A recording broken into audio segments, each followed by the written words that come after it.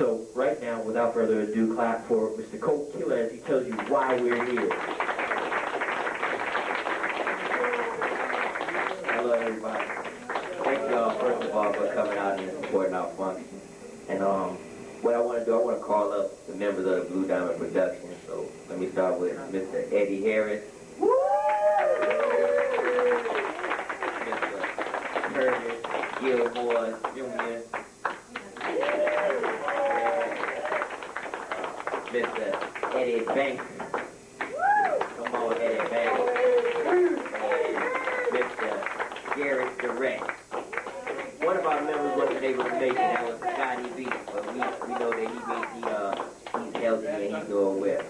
So the Blue Diamond was put together based on the discussions that was going around the table about the Vinegar Hill and how when that urban um, development came, 29 businesses was just removed and never was replaced.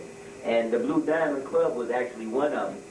And these guys right here, we all came together. We said we want to provide some nice entertainment for the community to show that, you know, we have something to offer to the greater Charlottesville as well. And that poem that Kamisha just just read, the last one, like summed up everything that we're we're about up here.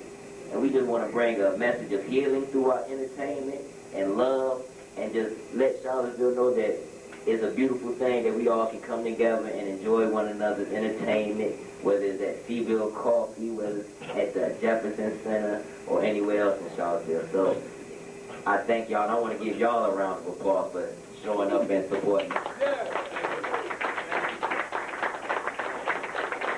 Without further ado, we're going to move on with the show and call up our next act. It up for